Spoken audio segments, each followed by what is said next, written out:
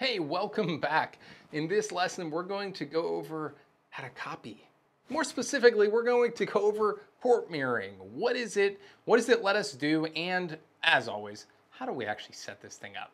So let's jump right into it because we got a lot to cover in this lesson. All right, so what is port mirroring? Well, port mirroring ultimately allows us to take packets coming in and out of our VM network adapters, also known as vNICs, and send copies of those packets to somewhere else.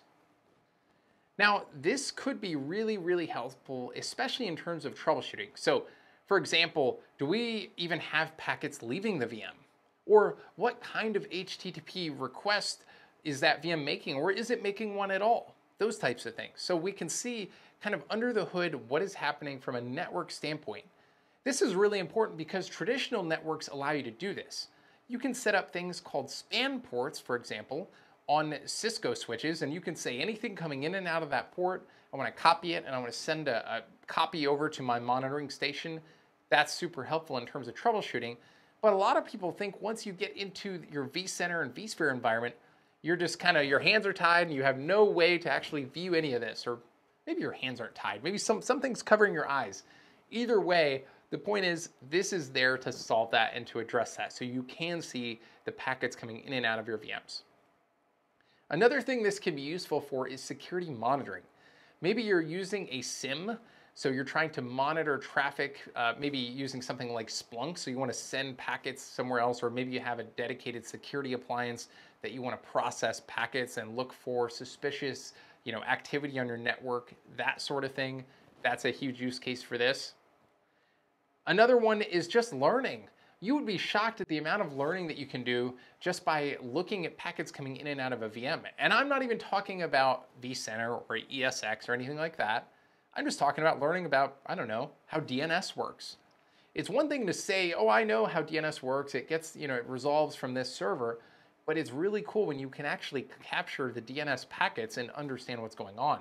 And that's just one example. The point is, it can be really helpful if you really want to understand what's going on under the hood. Capturing some packets is always helpful. Now, as far as how you actually analyze them, so if you're playing around with this in your lab, what I always do in my labs is I just run Wireshark to capture the packets on my laptop, and I'll just make my laptop the destination for these packet capture sessions. That's probably the easiest way if you're doing this in a lab. All right, now once we get into the GUI and actually start setting up these sessions, and I'll just show you at a very high level how to do those, there are a few different types of packet mirroring or port mirroring sessions that you can set up in vCenter.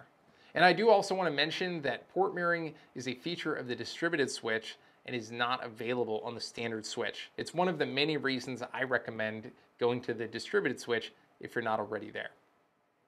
All right, the first type of port mirroring session is called distributed port mirroring. This is basically we're taking packets from one VM and we're sending them to another VM on the same host. So that's one way. Another type of session is a remote mirroring source. This is where we're mirroring one of our distributed ports to uplinks of the vSphere host. So we're taking traffic coming out of our VM and sending it onto the physical network through one of our physical uplinks. The next type is remote mirroring destination, which is where we're actually kind of doing the reverse of that last one. We're saying, I want to take packets from VLAN 52, and then I want to mirror those to one of my distributed ports, which in this case would be one of my virtual machines. So maybe my virtual machine is the monitoring station, and I want to capture traffic coming, you know, on the network to, like I said, VLAN 52 or 27 or whatever, and send it to that VM. That would be remote mirroring destination. The next option is called Encapsulated Remote Mirroring Source L3. Whew, that was a mouthful. This one is specifically the one that I use in my lab when demonstrating and being able to send traffic to my laptop. What this ultimately does is mirrors traffic from one of your distributed ports, again, your virtual machines, and sends it to a layer 3 destination using an encapsulation essentially. So it's using, ultimately, it's basically GRE tunneling. So it's taking that original packet, encapsulating it, sending it on the network destined with a destination IP of your monitoring station. So when your monitoring station gets that packet, it'll actually have an extra header for that encapsulation on it. So you almost have to learn to ignore that when you're using this type. But the benefit to this type is that you can send those copies of those packets anywhere in your network you want as long as you have IP reachability. So if you have a you know physical server way over there or at another data center or something and you want to send packets over there onto some other network, you would be using this option as your means to accomplish that.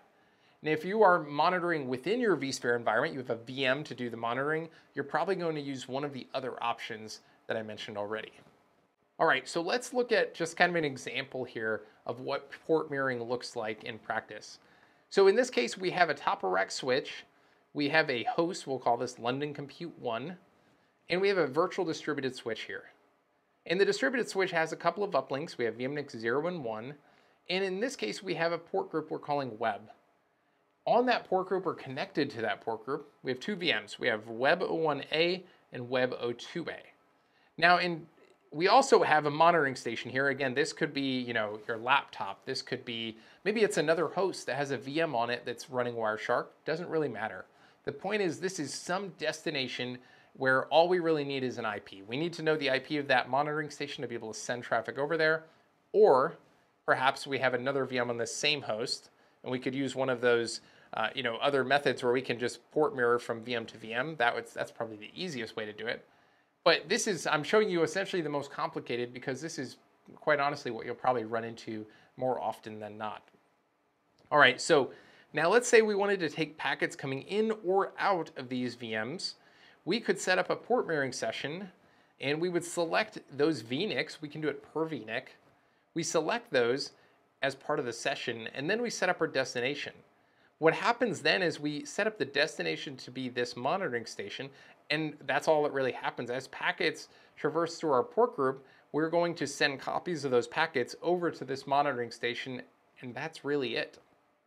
Now that said, in the next lesson, we'll get into actually how to configure a basic port mirroring session. So I'll see you there. Stay tuned.